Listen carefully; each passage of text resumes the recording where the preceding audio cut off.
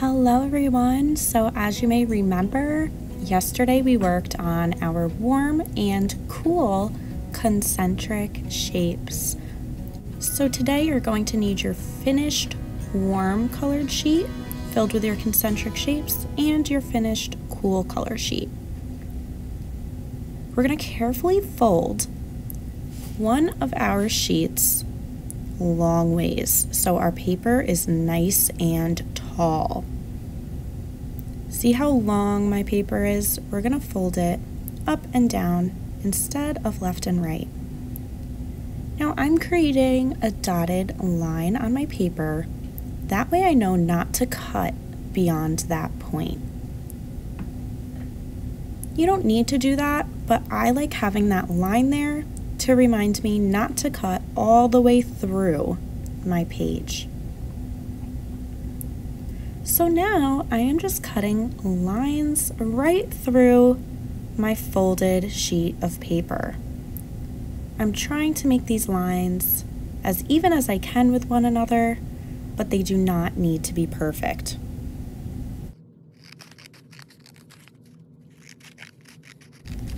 So now we should have our paper that is folded long ways with all of our slits in it.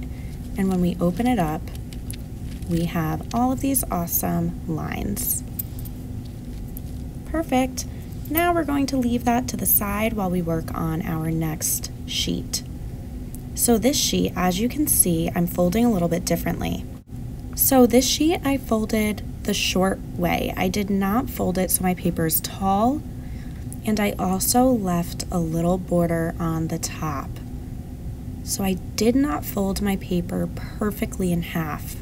I left that border where we can still see a little bit of our artwork. Now I'm doing the same thing and I'm carefully cutting some strips through my paper.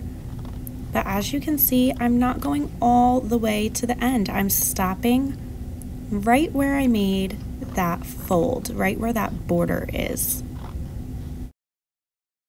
Now this step is optional, but I find it helpful. So we're going to line our two sheets of paper up and we are going to lay them on top of each other. We're going to grab a piece of tape and after we lay these pieces right on top of each other, we're just going to tape them together at the top just like this. That way we don't have our paper flopping all over the place. It's gonna stay nice and neat. It's gonna stay together. Okay, so now it's time for our weaving portion.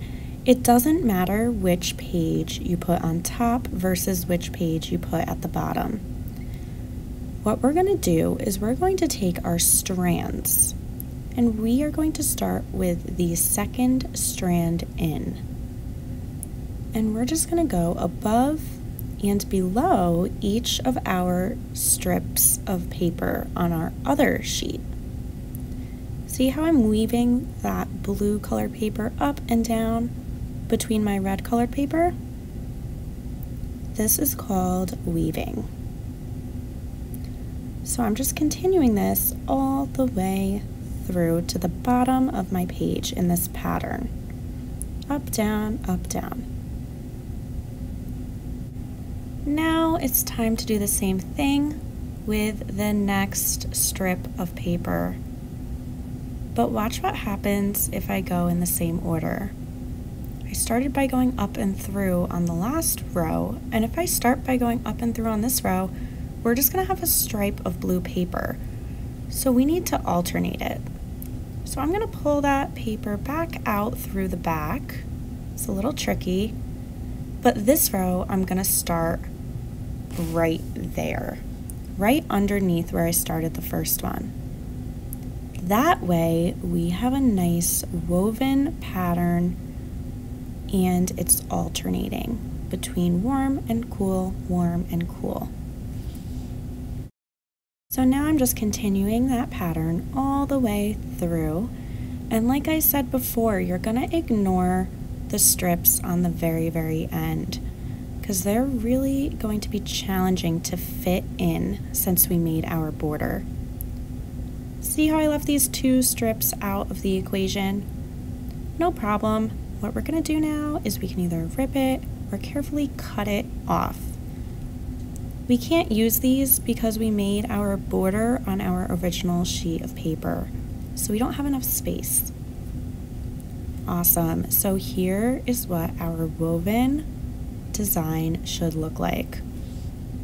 So now if you flip your artwork over, you're gonna see this checkerboard pattern. That's a little easier to see when you're not looking at it on the drawing side. And you're gonna notice these little tabs. You can choose to tape them down or just leave them alone. So I hope everyone has so much fun weaving their warm and cool concentric shapes together.